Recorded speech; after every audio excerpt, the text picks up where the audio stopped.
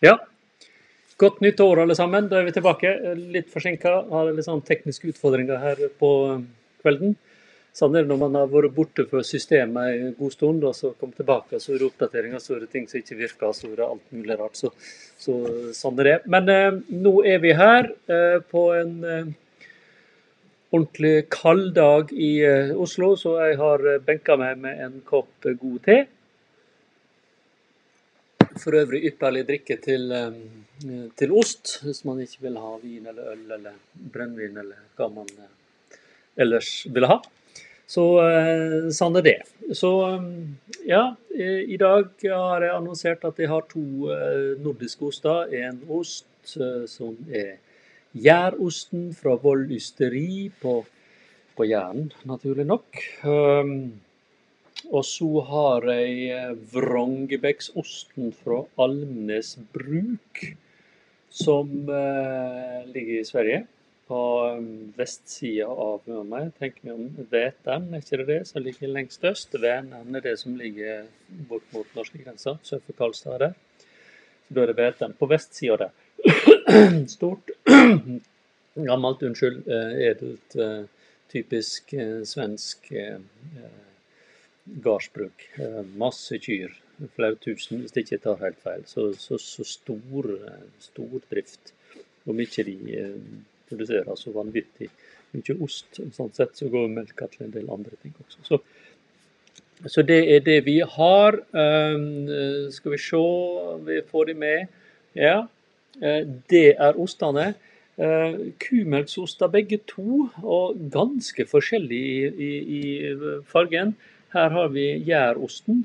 Den har sånn fint eh, merke under der. Det bruker også Almnes har ikke sant merke, men altså jeg, jeg eh, trodde at det var eh, omvendt en stund, men det er det ikke. Her har vi da eh, eh, Vrongebæksosten, som eh, er litt annen type. Litt lysere, litt mindre betakaroten i melka der, tydeligvis. Eh, Så av eh, en eller annen en eller annen grunn. Og så er det jo litt sånn med disse to ysteria her, da, at de, eh, de har jo ei historie. Begge to hver på sin måte. Så hvis vi begynner på Jæren, da, så, så ble jo voldysteri, da. I utgangspunktet så var jo det et samvirkehysteri som ble etablert på 1870. Nå må jeg ikke arrestere meg på akkurat årstallet, men, men rundt omkring 1870, og så eh, gikk jo det en stund framover, og så ble det oppløst, og så ble, gikk det inn i, i et annet ysteri, det som etter hvert ble eh, Tine sitt ysteri på Jæren før dagens. Um, og så tilbake i 1902 så var det en annen gjeng som da etablerte ysteri der Vold ligger i dag, og det var jo fordi da Hans Vold, dagens ysters bestefar, far, far, vet ikke, um, eh, ga grunn til ysteri. Så det står der. Så den bygninga, hovedbygninga på Vold ysteri i dag, er fra 1902. Så det er jo en eh, bra eh, alder, det. Og da har de ysta ost, og det som så mange så, sånn i tidligere tider, så, så uh, har de ysta sveitserost. Og faktisk Vold ysteri de eksporterte eh, sveitserost, altså emmentalertyper, fordi de hadde eh, folk fra Sveits opp og lærte de å yste emmentalerost. Um, så da ysta de det, og den eksporterte de til California i eh, sånn iallfall ja, så enten før første verdenskrig eller mellomkrigstida. Det husker jeg ikke akkurat når det var. Så det går an. Det går an. Så um, sånn er det. Eh, Så skal ikke jeg si om det, det var sånn, eh, litt sånn politisk og, og tollmessig og alle mulige sånne ting enklere, handelsmessig enklere før. Men logistikken er jo greiere nå, da. Sånn, liksom sånn. Jeg har ikke korona, jeg får si det, da, men eh, denne pratinga tar på. Så eh, ja. Eh, Så det, og så etter hvert da, så har det jo blitt gjærosten, som da er en annen type, men sveitsisk den også. Den er raclette, raclette sånn type, den her, da. Smelter veldig fint. Kan brukes til raclette, kan brukes på brødskiver. Den er ikke helt fast, den er litt sånn halvfast mot det faste. Um, uh, så, men det går å skjære den med, med ostehøvel. Funker godt på som uh, raclette, funker godt uh, i fondy og fungerer flott bare å spise. Bare å, å maule. Den er av råmelk, og Vold ysteri var jo det første ysteriet som sånn, fikk autorisasjon til å yste av råmelk. Det var tilbake i 2002. Så merket det var, det var autorisasjon. Um, liksom, så, um, så, hadde de vel ysta av råmelk uh, før det, men det kjenner jeg ikke til. Det bare antar jeg. Uh, så, uh, men det var jo da etter at, etter at, Pascal og sikkert flere hjelpere med henne hadde jobba mot Mattilsynet i ganske mange år for å få lov til å yste av, av råmelk sånn eh, lovlig. Uh, for å si det slik. Så da var det Vold ysteri som da i 2002, hvis jeg ikke tar helt feil, uh, var det første ysteri som fikk autorisasjon til det. da. Og da yster de nå gjærosten. og det er Den osten de yster, det gjør de veldig bra. Den blir modna litt sånn forskjellig. Der er en litt sånn ung type, fruktig og fin. Den her er mer moden. Eh, vært modna sånn eh, mellom ja, sånn åtte-ti måneder, sto det på etiketten iallfall, og da tror jeg det. Eh, så, og så den, har den vaska skorpe. Ser dere liksom her blir vaska i saltvannsoppløsning. Snudd, vaska og tørka og liksom sånn skrubba. Ja, i det hele tatt. Så det, det er en, en, en, litt sånn underkjent ost. En som går litt under radaren. Um, hans Wold er jo en flink fyr, men er kanskje ikke, ja, er kanskje litt beskjeden da, i forhold til å, å stå fram og, og, promotere osten. Men, men uh, den er jo der ute, og jeg anbefaler deg å prøve den. Uh, for den er god, og den er alminnelig tilgjengelig både her og der. Så, så, det syns jeg du skal gjøre. Så er det eh, Vrongebæksosten. Den her, dere ser at den er litt annerledes. Eh, den er Hva heter det da? Jeg har en liten fuskelapp her, for det var jo dette favorittordet mitt. Eh, altså storpipig. Altså, jeg jeg syns jo at pipig er et sånt fint svensk ord. altså Du har grynpipig på disse ostene som har sånn veldig sånn små, fine, litt sånn avlange hull. Det er grynpipig. Her er det litt større, så det er storpipig. Og det her er sånn sett forgjengeren og modellen til det vi eh, det, eller det man i Sverige da kaller for herregårdsost. Um, min datter, det, når det hender sånn eh, at vi er i, til, i, Sverige for å handle, løper alltid til disken for å handle seg med seg en herregårdsost. Uh, det her er kanskje den ultimate herregårdsosten som alle burde ha. Uh, for så vidt en gammel ost, den også. Almnes er jo et veldig gammelt bruk. Eh, og, og eh, heter jo bruk fordi det også har vært teglsteinsbruk. Og det var bondegård, og en av ostene heter vel 1251, som da er så langt tilbake som man, man kan ane at de har laga ost der. Vrangebekk Osten, eh, Rongebecksosten, skriver seg vel fra 1880 eller der omkring.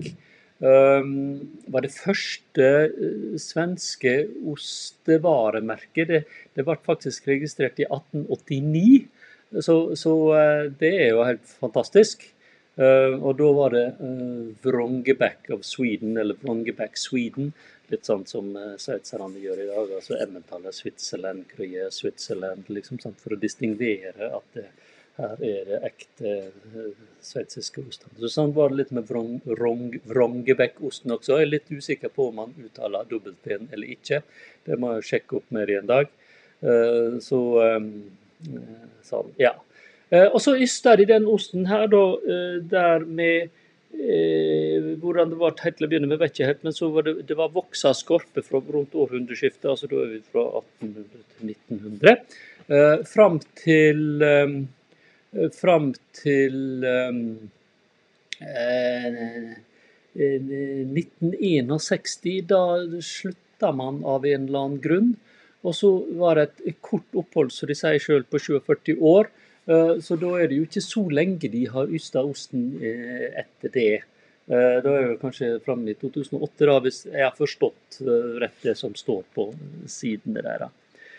Også, og, og, og, da gikk de bort fra voksing, da gikk de bort fra parafin, og gikk over til å, å vaske den. Og begge disse to her tenker jeg at det, det liksom denne vaskemetoden det franskmenn kaller marche, der man har saltvannsoppløsning, og så har man på en måte litt sånn rester som man skrubber fra skorpa som ligger i den, så det blir på en måte en slags mer sånn skrubbing heller enn ren vasking med rent eh, saltvann. Det er den typiske måten på de faste alpeostene iallfall.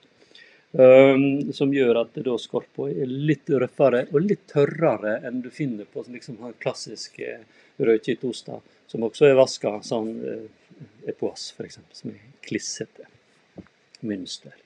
Uh, uh, Livaro. Ja, det var nå det.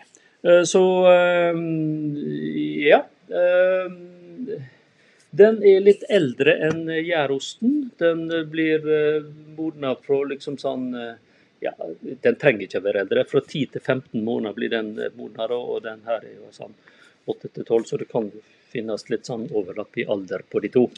Det, det er noe som har eh, eh, har jo en historie i forhold til servering. altså Når eh, André skulle på sin luftferd til Svalbard, eller Spitsbergen som det heter, da ble Vrongebekkosten servert da, på avskjedsmiddag i, Gøteborg. Og da er vi jo litt tilbake, det vet ikke når det var, men uh, liksom sånn I 1896 var det. Jeg burde jo kanskje vite, men det gjorde jeg ikke.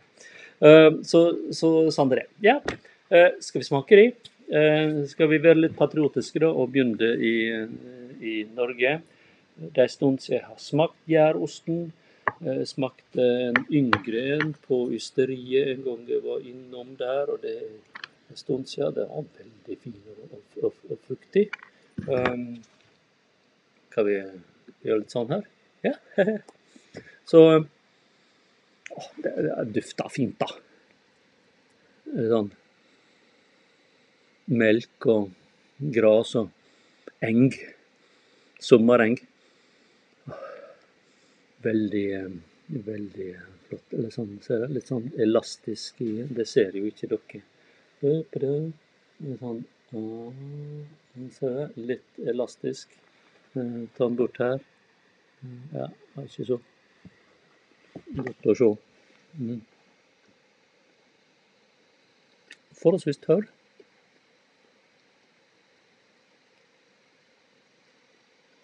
Fruktig fin sødme.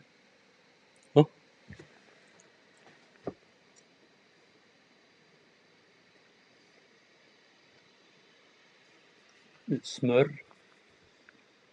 Mm.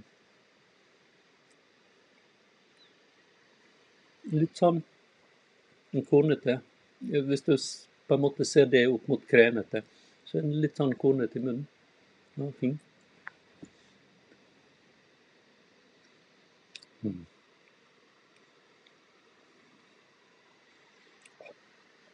Det her med litt sånn altså smelta med litt sånn uh, pickles, sånn um, små cornichon, små sylteagurker. Litt, um, litt italiensk salami, eller kanskje fra Ask. Alt et sånt.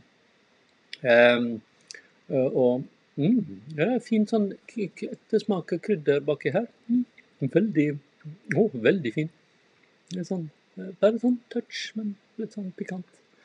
Um, så eh, ja, og gjerne poteter også. Og, og oppå liksom sånn det her smelta. Nydelig. Det passer jo godt til sånn vær vi har i Oslo akkurat nå. Det var ikke så kaldt i dag, for det skyer litt over. Men i går var jeg ute klokka halv sju.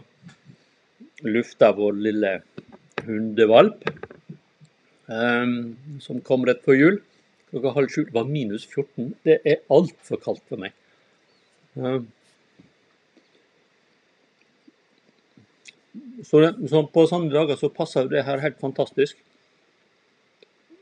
Jeg skulle ha gjort det med en gang når jeg er ferdig her, men jeg har ikke raclette igjen. Burde kanskje hatt den. Så en kopp te. Mm. Det var fint, det. Gjærosten. Prøv den. Neste gang. Er greit tilgjengelig. Gutta har den. Meny har den. Ikke alle Meny, men iallfall en del. Fromasjeri har den sikkert. Ost og sånt har den. Frogner Spesial har den. Ostehuset i Stavanger. Kolonialen Bergen. Helmersen i Tromsø. De har den. Det er lett å få tak i. Og det gjelder nok også Vrangebæksosten. Eh, kanskje ikke Meny i like stor grad. Eh, må du nok på litt sånn spesielle menyer. Ser at den her er Jeg vil tro at den her er henimot 15 heller enn en 10. Eh, hvis du ser, så er det litt sånn eh, brun, litt sånn innslag der. Det er litt mørkere der også har du litt sånn Det ser du litt her. Litt sånn skadig Nei, der var det litt skade i, i, i skorpa. Gjør ikke noe. Litt brunere her, litt sånn tørking, uttørking, som gjør at den sannsynligvis er uh, 15 måneder heller enn at den er, er 10, for å si det sånn. Så, ta det stykket. Mm. Smaker på meg. Ja, ja. Ja. ja. Nei, veldig fin. Og god smak. Mm, mm, veldig sånn krydrete. Morsomt. Skorpa er jo som regel ikke noe sånn høydere. Men med sånn løksmak i den. Urte, løk. Mm. Mm. Annen konsistens. Den her der gjærosten litt, sånn eh, litt sånn eh, kornete, er den her kremete. Konsistensmessig, og den er kanskje litt litt sånn eh, mjukere, litt mer elastisk. En, Ja, det er den sjøl om den har litt, men den er litt mer elastisk eh, enn eh, For så vidt, eh, ja. Eh, men han eh, opptrer iallfall mer kremete i munnen.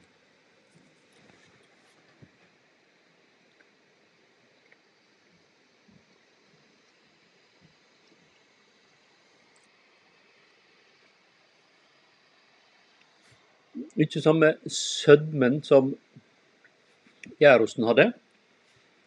Men den har litt mer sånn kremete smak. Smør, gardssmør bondesmør, som han sa, bergenseren. Um, og liksom lang, rund, fin um, smak baki der. Veldig ålreit. Men skorpa var veldig sånn uh, urte, og spesiell løk. Det, det, var litt morsomt. Og det er jo sånt som, sånt som uh, skjer med ost av og til, så det er ikke noe uvanlig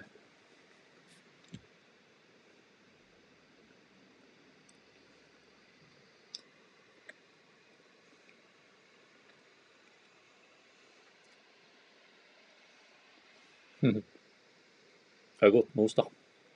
Jeg syns det. De har jo en uh, ost til, eller de har flere oster. De har jo Almnes Tegel, som litt mer sånn over mot um, Parmigiano Reggiano. Og så har de en som heter 1251 eller noe slikt. Som er veldig lenge siden jeg har smakt. Så jeg tar ikke det sånn ut av minnet. Da må jeg slå opp Jeg har vel skrevet om det, tenker jeg, en plass. Så ja. Ups.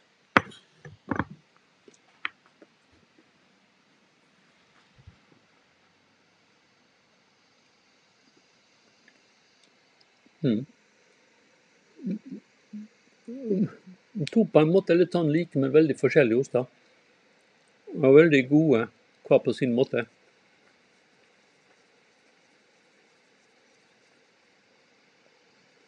Skorpa på gjærosten hadde ikke den samme urtesmaken. Var litt sånn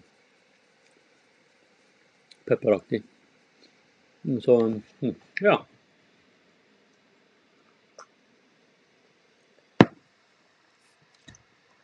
Så hadde altså lyst til å begynne med eh, nordiske oster, en norsk og en svensk, på nyåret. Eh, koronaen fortsetter jo. Eh, vi trenger vår eh, støtte, denne ystgjengen, alle sammen. Eh, så kjøp noe norsk, svensk, gjerne det. Det er gode oster. Så gjør nå det. Så gir vi et lite bidrag, fordi restaurantene er jo stort sett nedstengt. og Det er en stor del av markedet for disse små bedriftene. Så da må vi kompensere litt eh, for det. Eh, prøve iallfall så godt vi kan, alle sammen. Eh, så det er mye oppfordring.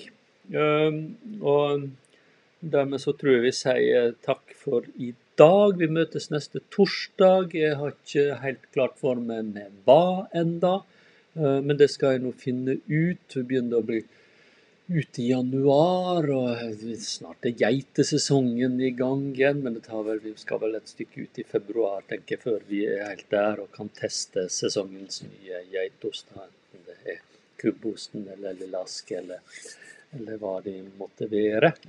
Um, Myrull er nok litt seinere, så uh, vi får se hvordan vi gjør det. Så um, vet ikke helt hva det skal være neste gang det var et eller annet jeg tenkte på, så, eh, men det husker jeg ikke akkurat nå, så vi skal nok finne ut av det. Um, så eh, kanskje spansk. Det ringte en spansk yster til meg i år, det var veldig hyggelig. Så jeg fikk invitasjon for å komme på besøk litt sånn utenfor Barcelona. Det hadde vært skitmorsomt å gjøre. så Naboen var en eh, var vinbonde og laga flotte viner fra Catalonia. Så det nå kan jeg liksom ikke vente på å få unna denne koronaen, så det går an å komme seg litt rundt. Jeg savner mine venner i London, eh, mine ostevenner i London som ikke får besøk. Så det er litt sånn eh, Det begynner å tære litt på, men vi klager ikke i familien her. Vi, vi har det bra. Vi har jobb og sånn. Det eneste er at vi må være hjemme. Så eh, sånn er det. Så, men eh, nok om det. Eh, hold avstand, vask hendene, bruk munnbind, eh, vær hjemme. Eh, så langt som det er mulig. Så bidrar vi alle til å få covid-19 av gårde og vaksinere når den tid kommer. Det skal iallfall jeg. Så, men når det blir, det, det vet jeg ikke. Så, men det var nå det. Takk for i dag. Så sees vi på torsdag om ei uke.